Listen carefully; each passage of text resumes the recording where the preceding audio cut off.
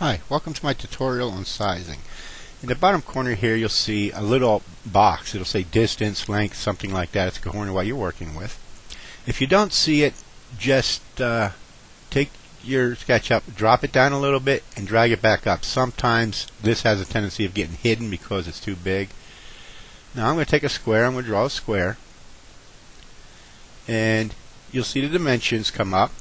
Now to change the dimensions to a size you want, for just this, I'm just going to put 10 feet. Uh, next to the enter key is a parenthesis, then a comma by, let's say, 6 feet.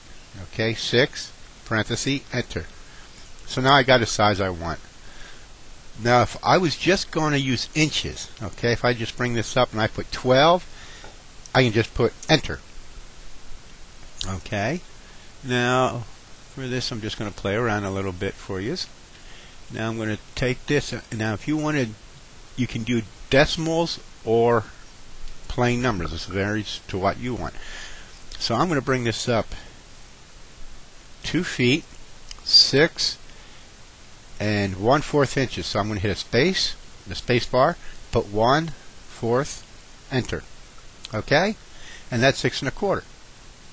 So let's go back down. I'm going to bring it up the same things, two feet, 6, and this time I'm just going to put 0.25. Enter. So you can use the decimal system or a fraction. It's up to you which way you want to go. What's nice about sizing is, let's say I made this room. Now this is awful small. You ain't going. You're not going to be able to really do anything in it. So what I'm going to do is I'm just going to take this push-pull tool and I'm going to pull this wall out. Let's say I bring it out 15 feet. Okay? Now all I'm going to do is take this and push this and just put 15 feet back in and I got the same measurement. Now here's a little secret I've learned as I've done these. If I bring this out 10 feet